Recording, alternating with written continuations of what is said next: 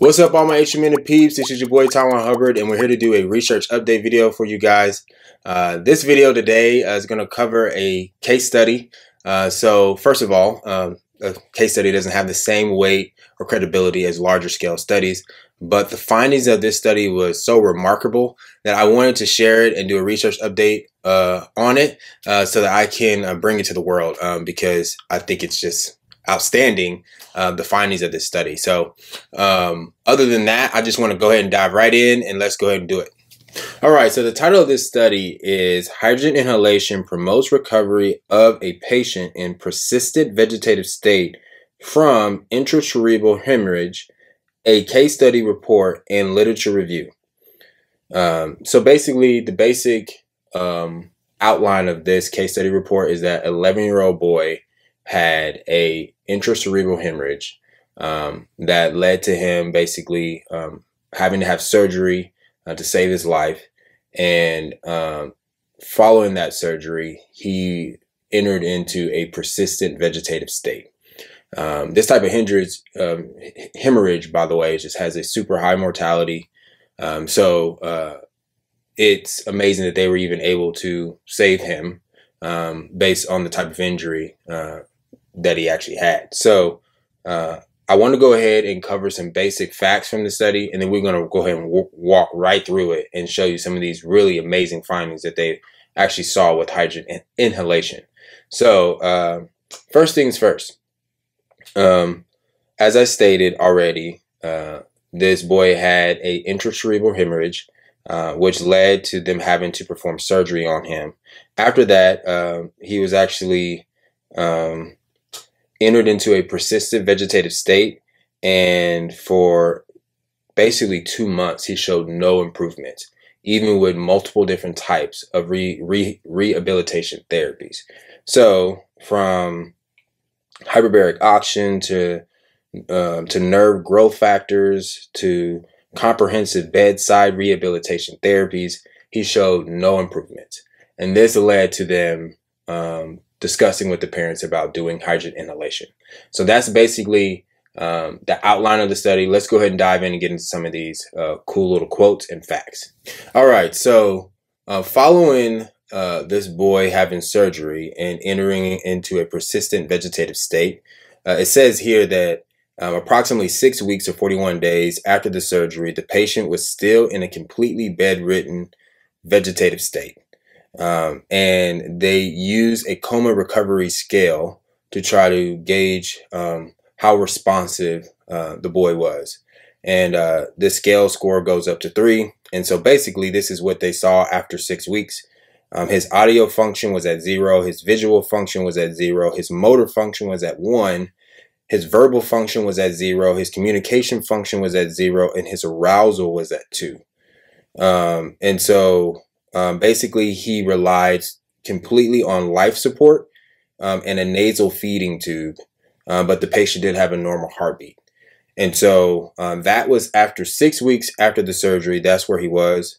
Uh, and so they said basically um, the patient showed no signs of improvement after four weeks uh, and after the surgery. And so they um, basically transferred him to a rehabilitation department um, where he can start to undergo rehabilitation treatments and training.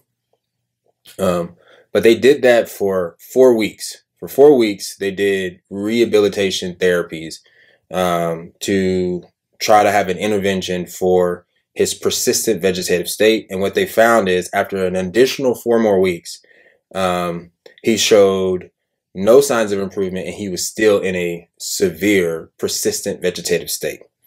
Uh, and so um, this is something that these are some uh, of uh, some of the information of about how or what his persistent vegetative state looked like. They said that the patient occasionally opened his eyes and yawned, but he had no response to pain stimulus uh, and could not distinguish between his family members and strangers. He was unable to listen and follow instructions or speak. Um, it said the patient had no voluntary movements or control uh, and could not keep his head steady, sit down, stand up, or walk. um, but he did have normal reflexes on the reflex test. So um, he was in a very desperate spot uh, based on based on what we see right here in the study, and basically two months after two months after surgery, he was still in a very uh, desperate spot. Uh, so let's go on and see what they say about hydrogen therapy. Okay, so after the rehabilitation therapies having really no success, and considering the boy's prospects of getting better, um, the doctors uh, talked to uh, the family about hydrogen inhalation, and this is what it says. It says, after after a thorough discussion and explanation of the patient's status with his family and with their permission, high concentration hydrogen inhalation therapy was was administered. Uh, the treatments was given twice a day for two to three hours each time for five months. Um, and the initial H2 inhalation treatment started two months after the patient developed persistent vegetative state. And so this high concentration of hydrogen um, inhalation uh, was in the form of oxyhydrogen. So it was 66% H2, 33% O2. So that was a gas mixture that they actually uh, was administering to uh, the boy. And this is what they started to find. Uh, they said that hydrogen inhalation um, said that it stabilized the brain hemorrhage and the edema um, compared to the other treatments that they were doing. Uh, and they said, due to the significant improvement of the condition of the patient, um, the nasal gastric tube was withdrawn and he was switched from tube feeding to oral liquid diet one month after treatment. So basically, within the first month, hydrogen inhalation started to stabilize the brain hemorrhage and started to reduce uh, or stabilize the edema in the brain. Now, after two months of hydrogen inhalation, this was the type of recovery um, this boy was having. It says that uh, he was able to follow simple instructions. He was able to open his mouth and chew simple foods. He was able to voluntarily um, bend and straighten um, his left lower limbs. Uh, it says that uh, he was steadily improving with longer hydrogen inhalation sessions. Uh, he says after 90 days of the initial treatment of hydrogen, um, his motor functions improved significantly. He was able to reproduce uh, movements following instructions. Um, and then he says uh, he was able to produce facial expressions vastly um, better, more or, or better um, compared to um, before hydrogen inhalation.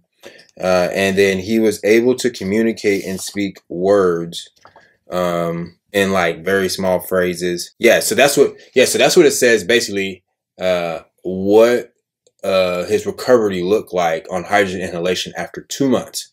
And so um, I'm gonna go ahead and turn over to the next page and let's see what else it says in the following months. So uh, it says here um, at five months. So this is at five months. Um, it says that after five months of hydrogen inhalation, uh, that the patient rec- had recovered near normal state of consciousness. So I don't even know how to wrap my head around that, uh, considering what kind of hemorrhage this little boy had. That he um, had a almost a near normal state of consciousness, and so on the uh, on the coma recovery scale score, he went from his first score um, being a three. So basically, um, that's basically all he had was a three. Uh, and that was because he scored a two on arousal and like a one in motor function. So they said after five months of hydrogen inhalation, this boy scored a 22. And so here's what his score was. His audio function was at a four. His visual function was at a five. His uh, motor function was at a five. His verbal function was at a three. His communication function was at a two. And his arousal was at a three, along with improvement of speech ability. Uh, that's what it looks like at five months after hydrogen inhalation. Um, they actually continued to show, he's actually continued to show improvements at six and seven months. So it says here at six and seven months, the patient could understand simple instructions, identify items, and read numbers. He could make requests with simple hand gestures. Um, he's steady at holding his head straight, independently turning his body over to the right side, uh, lifting uh, his hands up and reaching his head, um, touch his eyes and nose with his hands, and make voluntary movements of his lower limbs or his lower left limb. They do go through a review of how they believe hydrogen was able to exhibit these effects uh, within this disease model based on the scientific literature.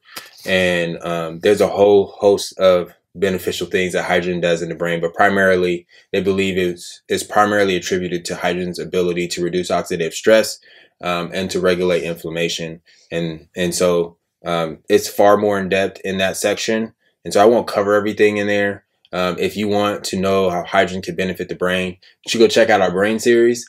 Uh, we actually have, I think, four videos that we cover on how hydrogen um, can benefit the brain, and many of the things that they're mentioning um, within uh, this part of uh, the study uh, is actually already in our brain series. So you can go watch that and binge that and be able to see how hydrogen really can benefit the brain. So, um, in conclusion, uh, it said that uh, let me see. In conclusion, uh, it said that uh, the patient finally recovered to near normal conscious state um, and was able to score a 22 from his previous three.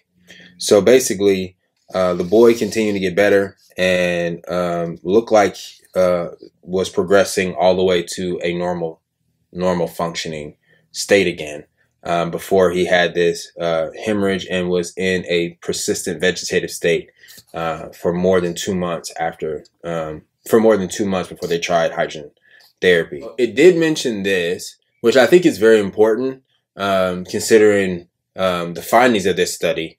Uh, you know, it could just be ran with and be like, oh my goodness, hydrogen. Um, basically, you could give person hydrogen on a persistent vegetative state, and they're gonna just be able to come back to a normal state, basically come back to life. Um, and so uh, it did mention this in the study, and I want to focus in on it because um, I don't think it takes away from the study, but it is important. And so I'm just going to quote it for you guys. And so here's the quote. It's worth noting that not all persistent vegetative patients were responsive to molecular hydrogen in our clinical research. We tried high concentration H2 inhalation in patients with acute necrotizing encephalopathy but there was no significant therapeutic effect regarding the recovery of consciousness in some patients after several weeks of high concentration H2 inhalation. Considering that the pathophysiological mechanism of neural injury and recovery of consciousness in brain diseases are complicated, the effectiveness of H2 gas treatment might be dependent on the severity of brain damage and the multiple underlying mechanisms of molecular hydrogen. Therefore, it may or may not be effective for all inflammation or oxidative based diseases. Okay, so I think this is a very important point, um, and this is why we need more research and we need more studies.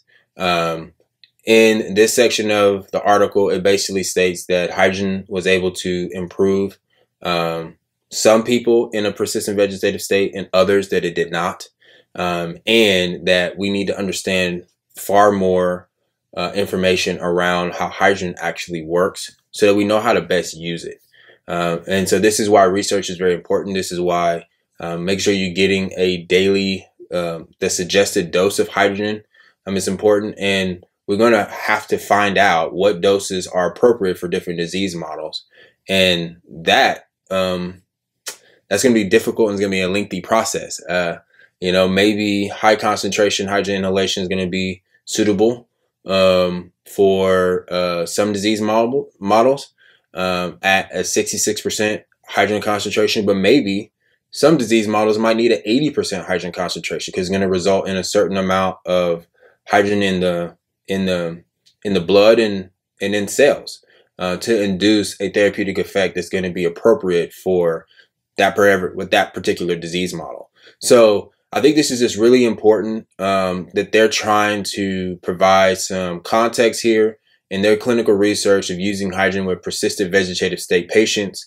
That hydrogen has exhibited remarkable effects in some, and others that it wasn't. They didn't see all that much of a therapeutic effect, and that we still have a lot of questions to be answered with hydrogen um, therapy when it comes to how hydrogen is doing what it's doing in there and the best ways to use it. Um, and so this is something I've seen in a lot of different research, especially in the ones of the studies that show hydrogen to be ineffective. Um, some of them just use very low doses, and so maybe the dose wasn't there. And so, or maybe um, they used a particular type of administration method, maybe hydrogen inhalation, but maybe hydrogen water would have worked better. So we just need to be able to go through um, this research and be able to accept where hydrogen is today and be able to use it um, the best we can based on the data that we actually have. So I wanted to go ahead and make a mention of that and go ahead and give that message out there because I think it's important. All right, so this is your research update video from H2 Minutes this month. Uh, really uh, appreciate you guys um, watching watching this stuff, um, liking liking our channel and subscribing. Please share this video with others, uh, and uh, we'll catch you next time. Deuces.